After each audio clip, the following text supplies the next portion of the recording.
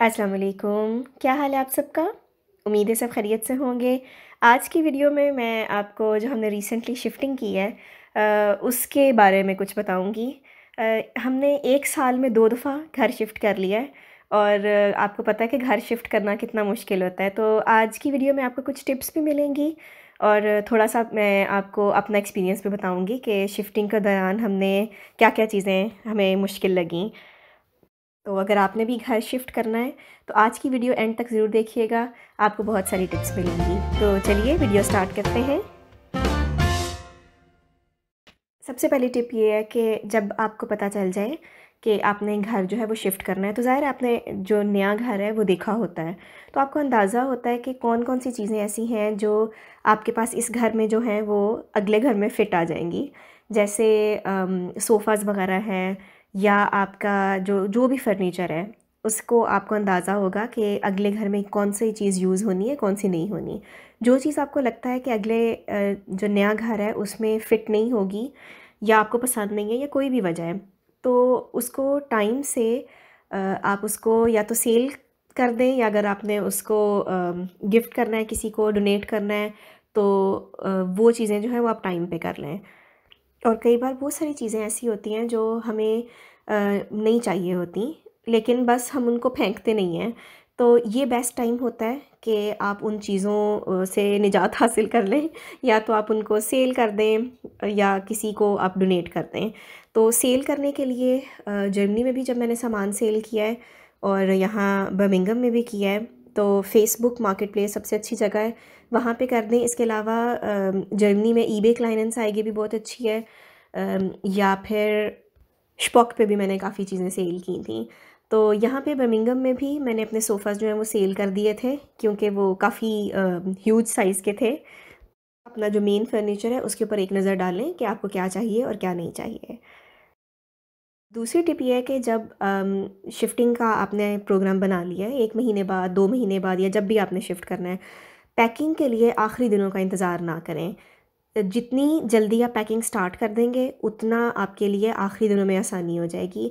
क्योंकि जितना भी आप अपनी तरफ़ से पहले काम ख़त्म कर लें, आखिरी दिनों में फिर भी बहुत हैक्टिक हो जाता है। ख़ास तौर पे ऐसी चीज़ें जो आपको ज़रूरत की नहीं है, वो आप पैक करना शुरू कर दें।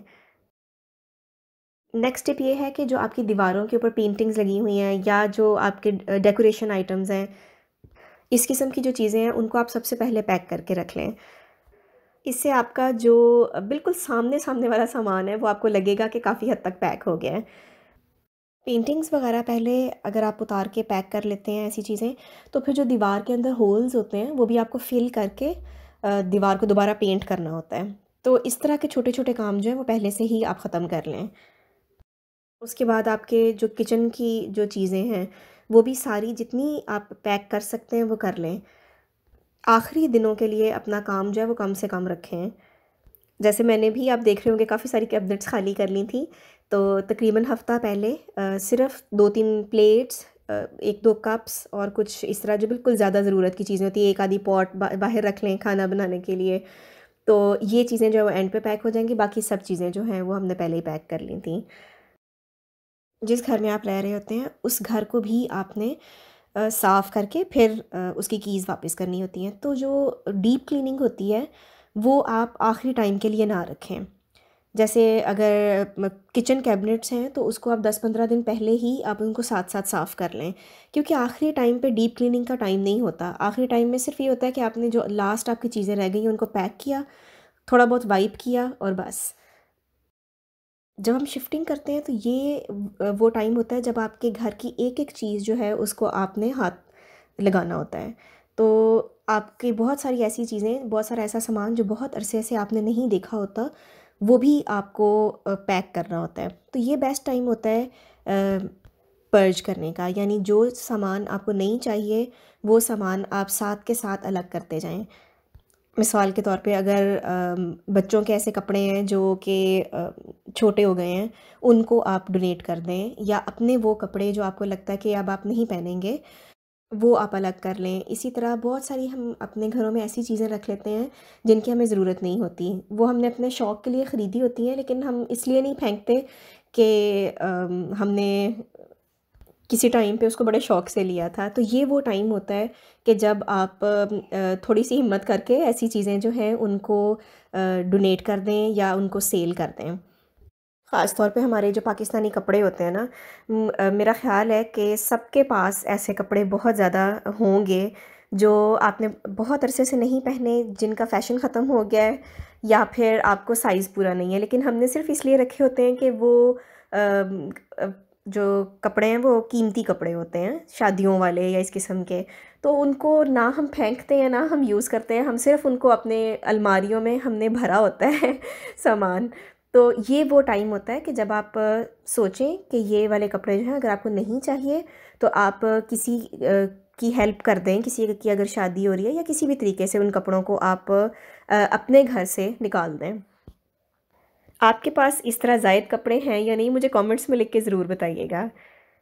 अच्छा एक और टिप ये है कि आप, जिस दिन आपकी शिफ्टिंग होती है, जितना मर्ज़ी आप ऑर्गेनाइज़ हो जाएँ चीज़ों को लेबल करके और आप जहन में रखें कि अच्छा फ़लाँ चीज़ मैंने यहाँ रखी थी और लेबल भी किया हो, लेकिन जब सामान जो है वो अनलोड होता है तो उस टाइम पे चीज़ें निकालना, ढूंढना बहुत मुश्किल होता है। तो एक ट्रॉली अपनी ऐसी ज़रूर बनाएँ या छोटा सा कोई सूटकेस जिसके अंदर आपके घर वालों का एमरजेंसी इस्तेमाल का सामान हो। जैसे मेरे बच्चे छोटे हैं तो मैंने अपने बच्चों के एक दो ड्रेसेस इनके night suits toothbrushes toothpaste towels और जो टॉयलेट पेपर्स होते हैं, वो इस किस्म की जो बिल्कुल इमरजेंसी का सामान होता है, वो मैंने एक सूट को केस जो है वो अलग बना लिया था, ताकि जिस दिन हम पहुँचे, उस दिन इतनी थकावट हो चुकी होती है कि हिम्मत नहीं होती कि आप एक एक चीज़ अब निकाल के अलग अलग से तो उनको यूज़ करें। तो अलग से अगर इस तरह से आप कोई ट्रॉली या कोई सूट केस बना लेंगे तो आपको आसानी रहेगी। ये थी आज की वीडियो उम्मीद है आपको अच्छी लगी होगी। हमें तकरीबन एक हफ़्ता हो गया इस घर में शिफ्ट हुए और अभी भी ऐसे लगता है जैसे काम जो है वो ख़त्म नहीं हो रहे तो शिफ्टिंग जो है वो आसान काम नहीं है। जिन लोगों ने घर शिफ्ट किए हैं, वो इस चीज़ को जानते होंगे। कुछ दिनों में इन नए घर की जो डीप क्लीन वीडियोस हैं, वो आएँगी। तो अभी तक अगर आपने सब्सक्राइब नहीं किया तो मेरे चैनल को सब्सक्राइब कर लें।